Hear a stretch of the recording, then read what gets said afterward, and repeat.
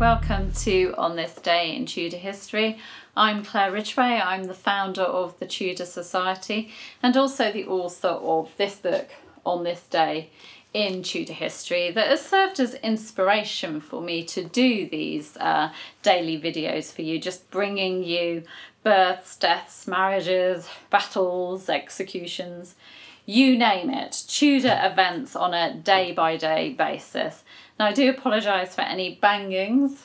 Um, we've got building work going on and all kinds of chaos in the house at the moment. Okay, 25th of April.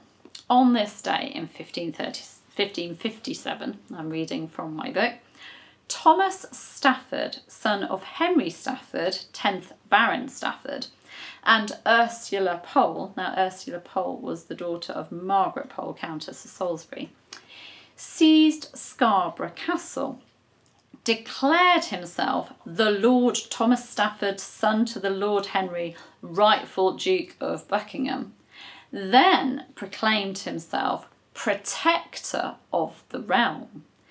He also denounced Mary's marriage to Philip, and of course that's Queen Mary I's marriage to Philip of Spain, and warned the people that they would be made slaves by the Spaniards, thus inciting rebellion.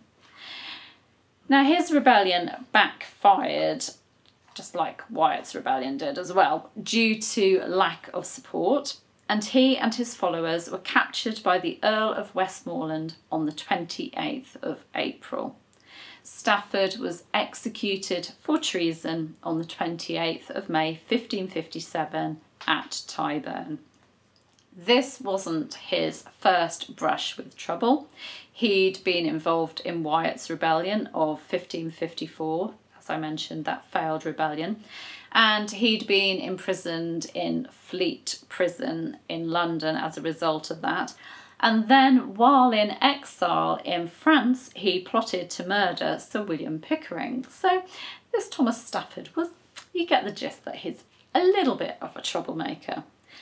His seizing of Scarborough Castle was the catalyst for the English declaration of war sorry, on France because Stafford had been supported by around a hundred Frenchmen.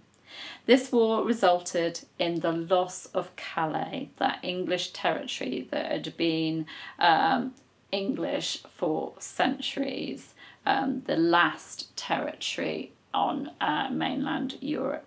And that was something that haunted Queen Mary I for the remaining months of her life. And I'm paraphrasing here, but uh, she said that you know, when she died, um, that they would find, uh, you know, Calais written on her heart because of the fact that you know Calais had been lost in her reign and it was such a devastating blow for England.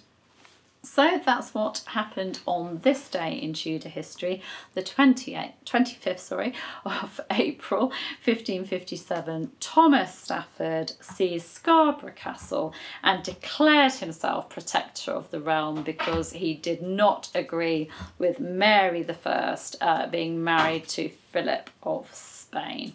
And of course he then came to a rather sticky end.